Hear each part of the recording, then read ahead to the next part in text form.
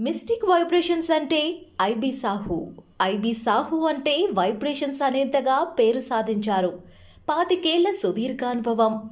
దేశ విదేశాల్లో ఎంతో మందికి నేమ్ కరెక్షన్స్ చేయడం ద్వారా సొల్యూషన్స్ చూపించారు. చిన్న పిల్లలకు అద్భుతమైన శక్తితో ఉన్న పేర్లు నిర్ణయించడంలో ఆమెకు ఆమె సాటి. విద్య ఆరోగ్యం వృత్తి వివాహం జీవితాలకు సంబంధించిన సమస్య ఏదైనా ఖచ్చితమైన పరిష్కారం సూచించిన ఘనత ఐబి సాహు గారి సొంతం. మీ పేరును శక్తివంతంగా తీర్చిదిద్ది మీకు అందించడంలో వంద శాతం విజయం సాధించిన ఐబి సాహు. ఓం నమ శివాయ. మిస్టిక్ వైబ్రేషన్స్ ఈ మాట చెప్పే ముందు నేను ఓం నమ శివాయ అంటే నా ద్వారా మీ అందరికీ కూడా శివానుగ్రహం కలగాలని స్వార్థం లేకుండా కోరుకుంటున్నానండి. తప్పేం లేదు కదా? రెండు వేల ఇరవై అండి. రెండు నాలుగు ఏడు నెంబర్లు. రెండు నాలుగు ఏడు. ఈ మూడు నెంబర్లు వాళ్ళు. నీళ్ళతో జాగ్రత్తగా ఉండండి. వాటర్ తోటి జాగ్రత్తగా ఉండండి.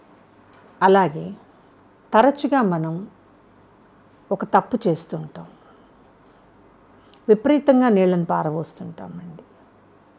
మీరు ఎంతగా పారబోస్తున్నారో మీ ధనం తాలూకు వైబ్రేషను సౌభాగ్యం తాలూకు వైబ్రేషను ఆరోగ్యం తాలూకు వైబ్రేషను మనం వృధాగా పోస్తున్నామని లెక్క. పెద్దవాళ్ళు ఎప్పుడో చెప్పారండి శ్రద్ధగా లెక్కతో నీళ్ళు వాడుకున్న కుటుంబం ధనంతో తొలతూగుతుంది అని. ధనం ఎక్కడి నుంచి వస్తుందో తెలుసా అండి? ధనానికి పుట్టిల్లే నీరు కదా. నీరు లేకుండా ప్రపంచాన్ని ఒకరోజు ఉండమని చెప్పండి. ప్రసక్తే లేదండి. అంటే ప్రపంచం కళకళలాడాలి అంటే అది ఒక పెద్ద సిద్ధాంతం.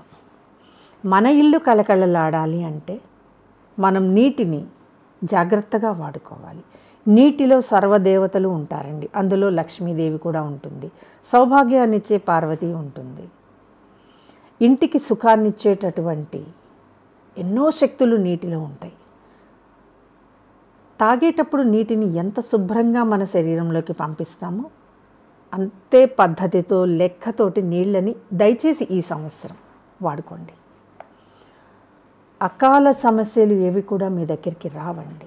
ఎందుకు చెప్తున్నాను అంటే ఈ సంవత్సరం లెక్కలు నేను చూస్తున్నప్పుడు ఇరవై ఇరవై లెక్కలు చూసినప్పుడు నాకు రెండు నాలుగు ఏడు నెంబర్స్లో చాలా సమస్యలు కనపడ్డాయండి.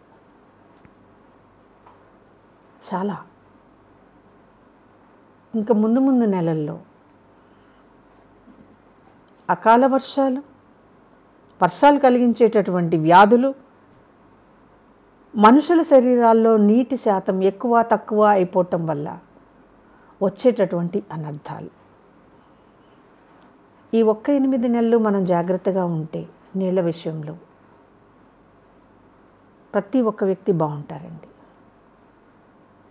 మనం ఎదుర్కొనే సమస్యలు ఏమి చిన్నవిగా లేవండి.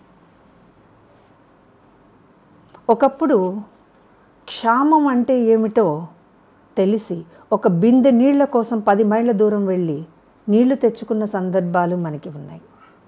ఇదే మీ శరీరంలో. శరీరంలో రక్తము ఐదు మైళ్ళు తిరిగేసినా కూడా దానికి నీరు తొరగని పరిస్థితులు ఈ సంవత్సరం. మనుషుల శరీరాల్లో ఏర్పడటానికి అవకాశం ఉంది. ఎప్పుడైతే మనిషి శరీరంలో నీళ్ళు తగ్గుతాయో శ్వాస తాలూకు స్పీడ్ ఎక్కువ అవుతుందండి ఈ శ్వాస తాలూకు స్పీడ్ ఎక్కువైనప్పుడు మనిషి నరకం అనుభవిస్తాడు. అది తెచ్చుకోవద్దు.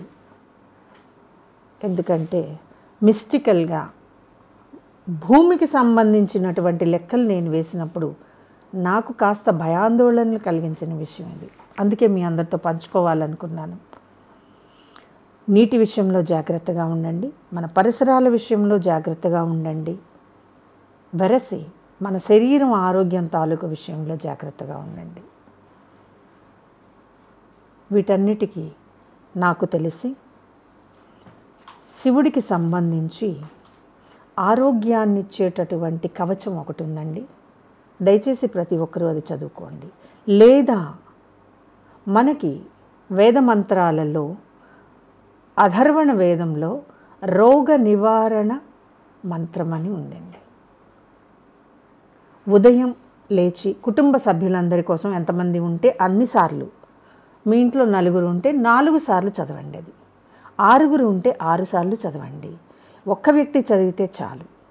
అయితే దీనికి నియమాలు నిబంధనలు అంటే మామూలు నిబంధన అండి స్నానం చేసి శుచిగా అధర్వణ వేదంలోని రోగ మంత్రాన్ని కనుక మీరు జపించినట్లయితే ఇంటికి ఆరోగ్యం తప్పకుండా సిద్ధిస్తుంది. అండ్ ఈ పరిస్థితుల్లో నాకు తెలిసి ప్రతి కుటుంబానికి ఇది అవసరం. నేను ఫాలో అవుతున్నాను. మీరు కూడా ఫాలో అవ్వండి. ఈ వీడియో కనుక మీకు నచ్చినట్లయితే లైక్ చేయండి షేర్ చేయండి. మా ఛానల్ని సబ్స్క్రైబ్ చేయండి.